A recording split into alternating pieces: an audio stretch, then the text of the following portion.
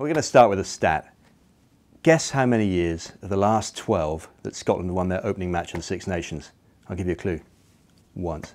Uh, really, they've got to improve on that to do anything in this uh, in the Six Nations, and they know that more than anybody else. I think on this particular occasion, they've got England first up at Murrayfield, Calcutta Cup. Every incentive to do well. Win that, anything's possible. Lose it, another season of underachievement, you suspect. Anybody who can score a try for Scotland is going to be a player to watch this uh, Six Nations during the World Cup, that's what they really struggled for, didn't they? Max Evans, fantastic elusive runner, but they, when it mattered against England and against Argentina in those crucial pool matches, it just didn't happen. So Max Evans, the Lamont brothers, anybody at fly half, scrum half, they haven't quite worked out who they're going to pick yet, but that's where they want. They want somebody to make just that bit of difference, that bit of quality close to the white line. I don't think Scotland's secret weapon is much of a secret, frankly. It's that crowd at Murrayfield, the opening match, Calcutta Cup, as I've said really big game. I don't think they'll stint on the firework budget. Andy Robinson, head coach, he might be an Englishman.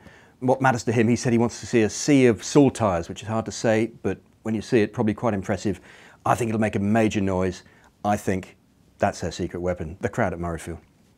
Every year for the past few years, I predicted Scotland to do pretty well, and it hasn't happened, let's be honest. Uh, this year, I can't really abandon them, but let's be realistic. They're not going to win the championship this year but they will improve. I would foresee mid-table